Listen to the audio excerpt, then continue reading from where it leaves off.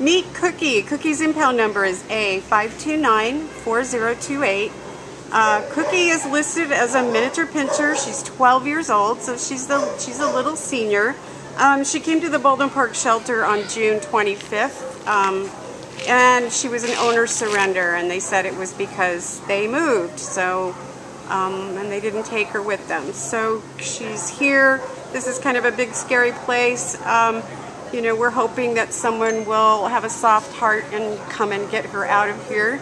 Um, she does need to be adopted on a medical waiver um, because she needs to be checked out by an outside vet. She's older, so she's probably got needs to have her teeth cleaned, teeth looked at, and um, they did see some small growths or something. We can't find them, but they must must be there someplace. But anyway, yeah, she's absolutely a sweetheart, and um, she just wants to be in your lap and she's she's just a cutie pie. She would be great for any kind of a senior household.